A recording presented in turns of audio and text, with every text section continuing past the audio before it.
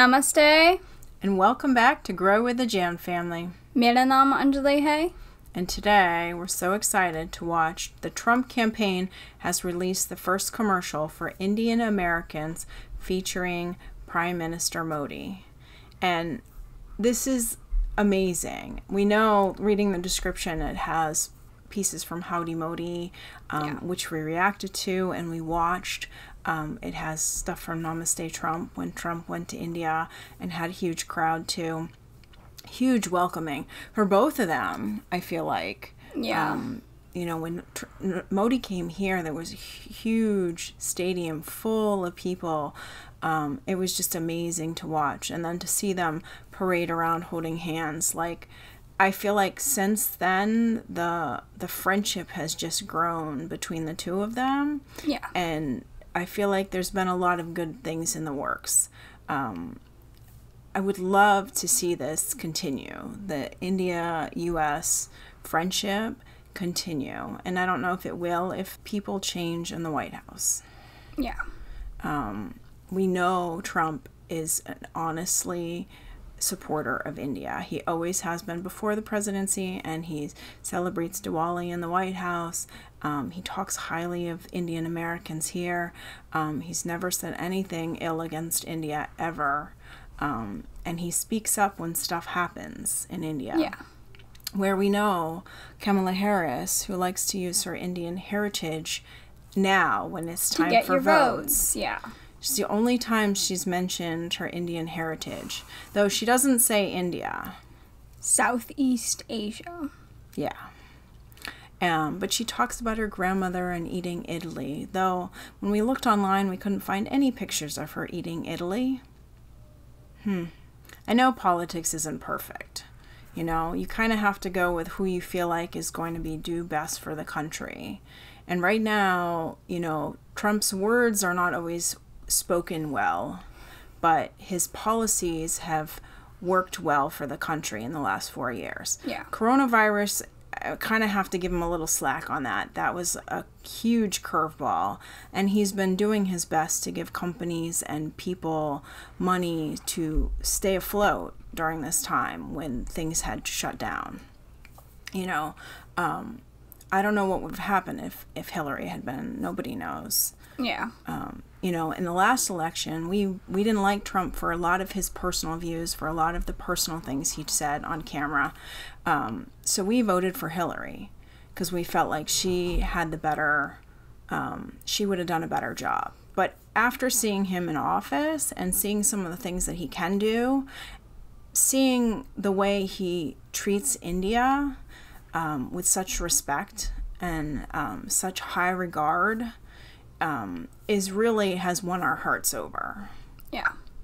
So I look forward to watching this again, these clips, because um, my favorite part from Howdy Modi is when Modi introduced Trump to his family. Um, and then told everybody in different languages that everybody at home was okay.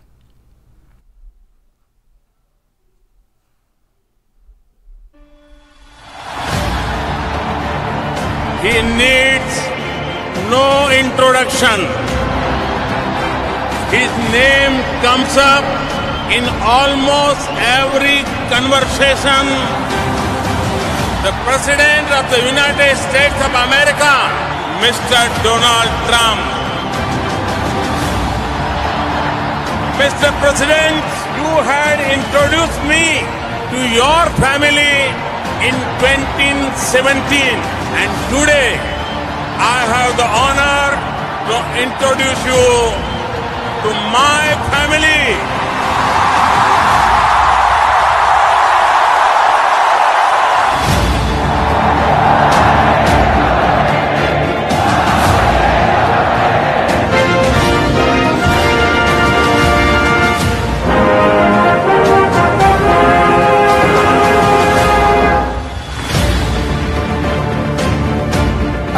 America loves India.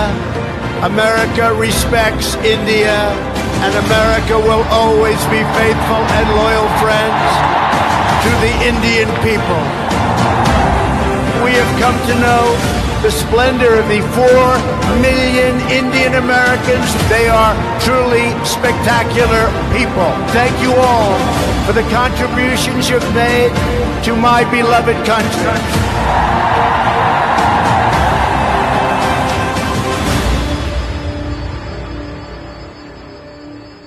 You can definitely see the love between India and the US in this, like Trump and Modi.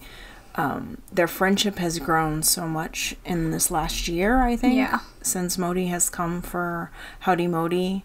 Um, we've seen him at the G7 together. We've seen him um, in a lot of different um, instances together. And I feel like it's it's making the connection between India and the US much stronger.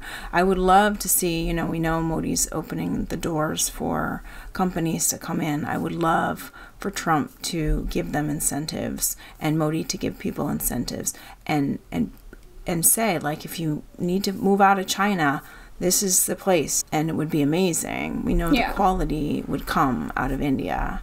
Um, we want India to be the next made in India right? But Trump's love for India is not blood driven. It's true. Yeah. You know, you don't- Kamala has such a blood driven kind of thing for her Southeast Asian roots that she can't even say she's from India on India's Independence Day. No. Yeah. And like we said, it's hard to find pictures of her with anything that's Indian related Yeah. on the internet for somebody who claims to love Southeast Asia. It's just hard. Like, we know in the past she's been against the Article 3, the removal of Article 370. She talks about India being a bully to Kashmir. She doesn't approve of the CAA bill. Um, you know, and when it's 20 soldiers are martyred at the border, there's not a word that comes out of her mouth.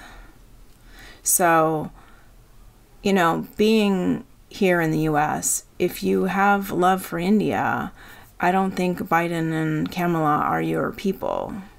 As much as she's trying to pull out her Indian roots to show everybody she can take some of those Indian votes, even if she speaks in Hindi the whole time, I don't think she truly loves India when she speaks so much against it.